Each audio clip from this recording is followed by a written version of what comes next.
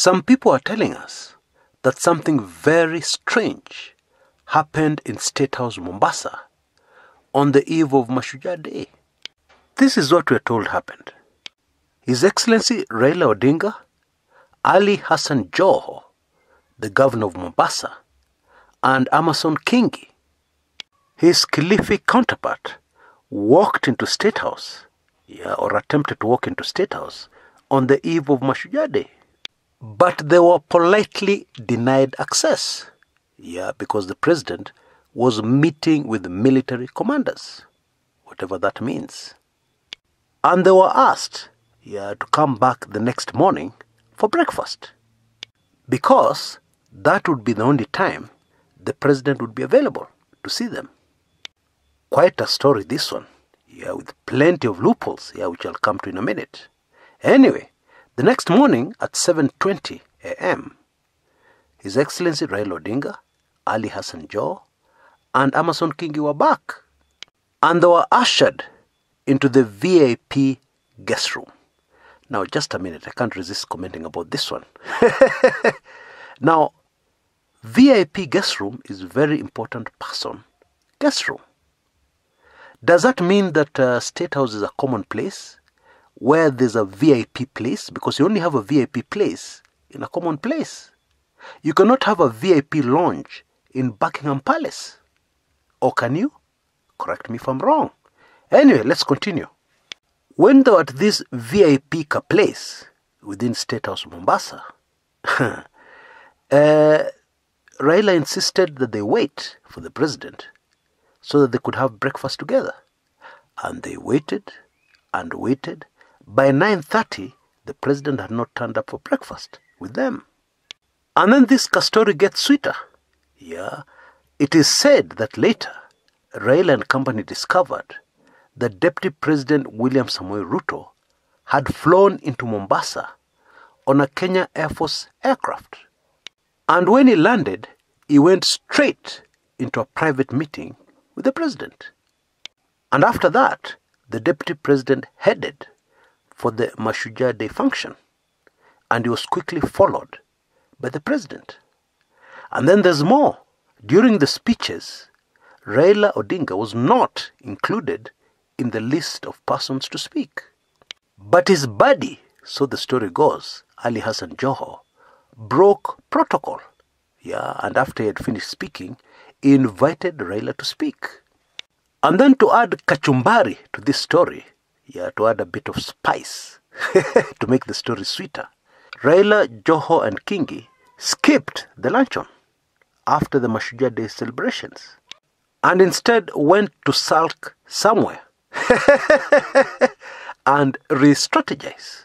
Yeah. The whole point of this story, yeah, whoever brought it out, whoever penned it, whoever promoted online, the whole purpose of this story objective is very clear. And let me put it in a Kenyan way. Yeah, the objective of the story was Raila Odinga 0, DP Ruto 10. Yani Ruto ameshinda 10 nil. Yeah. Now there are very many reasons why this story doesn't fly. I'll mention just two. Number one, His Excellency Raila Odinga didn't start playing politics yesterday. No. This man went into politics when most subscribers on this channel, I believe over 70%, were not yet born. And when you're in politics that long, you're very expert at at least one thing avoiding embarrassment. And therefore, you will not rely on the gatekeepers at State House to be able to see the president. How? Even a rookie, yeah, who has got a bit of brains would never, ever try to do that. Number two, I would like to believe that Raila Odinga has the president's number on speed dial. I also believe he has the number of a very close aide to the president on speed dial. And so, he would not need to come back the next morning and wait and wait and wait for the president to turn up for breakfast, only for the president never to turn up for that breakfast. That one I don't believe. And so my verdict on this story, very nice, juicy mshene. Period. Not factual. Now, don't get me wrong. I'm not saying that it is impossible for the very close relationship between His Excellency Raila Odinga, the president, to go sour. No, I'm not saying that. I mean, that can happen at any time. The two could fall out. This is politics. It's normal for people to fall out. It happens all the time. However, what I'm saying is that this story, which has been spread all over social media, is not true, according to me. And there's something else I'd like to add. Whoever was behind this story is a very smart person. Yeah, because they know very clearly that the public loves yeah, a story of Mshene from the corridors of power. Gossip from the corridors of power will get the attention of Kenyans immediately.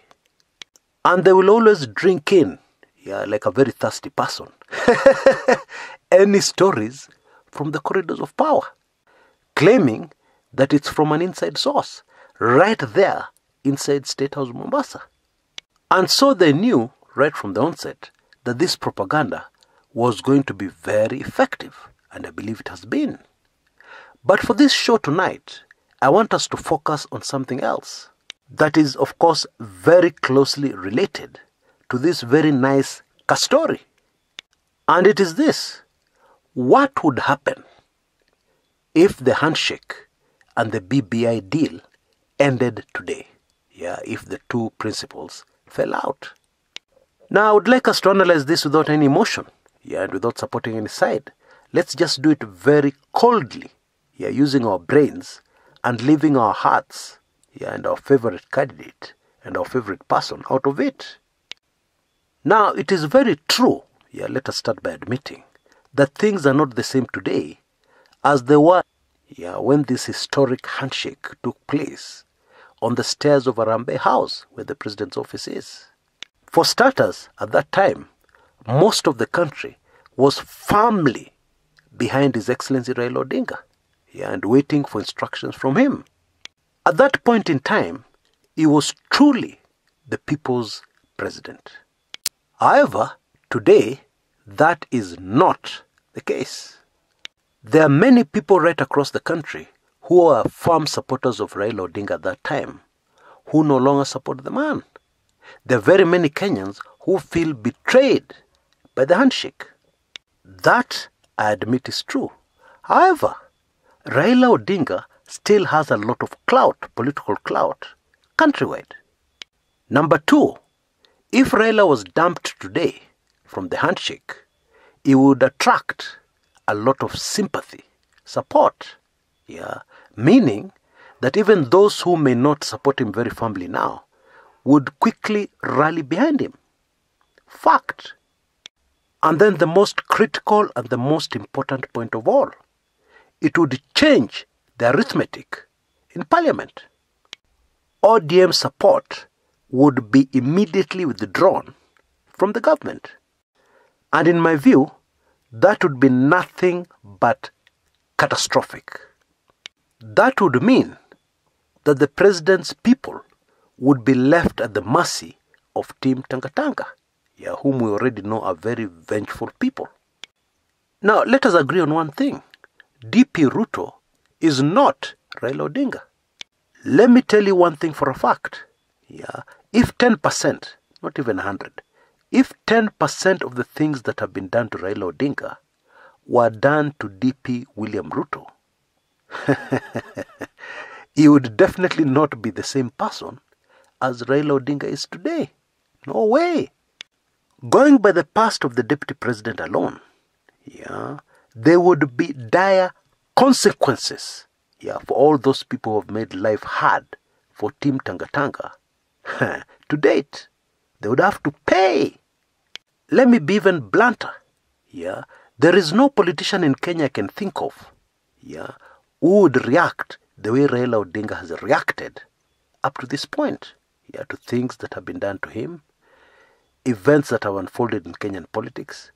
I can't think of any other politician who would have responded the way Raila Odinga has done. Yeah. sitting on a negotiating table, yeah, sitting down with somebody and negotiating, yeah, even after what has happened. and this is why I've always said on this channel, yeah, that Raila Odinga is very different from his late father, Jaramogi Oginga Odinga.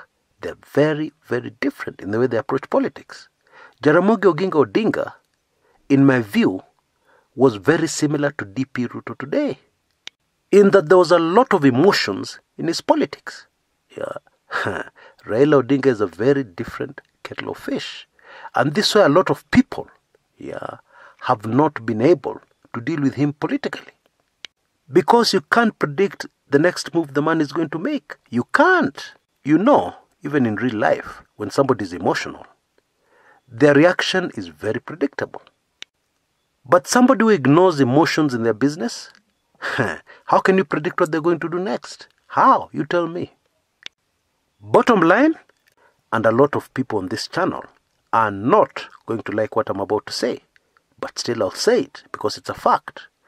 Bottom line is that President Uhuru Kenyatta needs Raila Odinga much more yeah, than Raila Odinga needs President Uhuru Kenyatta. And that is a fact yeah, that historians will bring out very clearly many years to come. Yeah, because you know the thing about history, the emotion is gone, and therefore you can analyze the thing clinically, yeah, without any emotion. But when you're in the midst of the emotions, of the politics, analyzing something coldly is impossible for a lot of people. So, if truth be told, I would be a lot more worried yeah, if I had a story that Raila Odinga snapped the president. that would worry me a lot more. And to tell you why, I'll illustrate it with one of the favorite sayings of Raila Odinga. Usione simba imenyeshewa, udhani ni paka. Don't see a lion yeah, in the Masai Mara somewhere, yeah, which has been rained on, and by the way, there's a lot of rain right across Kenya right now. Don't see a lion that has been rained on, and then you relax and you say, ah, that thing looks like a cat. It must be a cat. Therefore, I think it's a good idea that I approach it, yeah, and pat it on its head, yeah, the way I pat my domestic cat at home. Utajua ujui. You know, I firmly believe in politics. It's good to be realistic. Even if you don't like somebody, yeah, be realistic.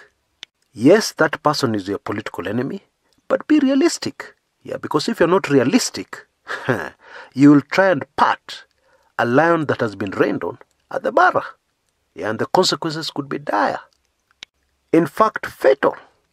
And so if you're serious yeah, about winning against uh, this person you hate, be realistic. Yeah, don't approach that uh, lion thinking it's a domestic cat. Yeah, approach it with a fully loaded gun and keep your distance and be careful. Yeah, then you might defeat it. Until next time, this is Chris Kumekucha.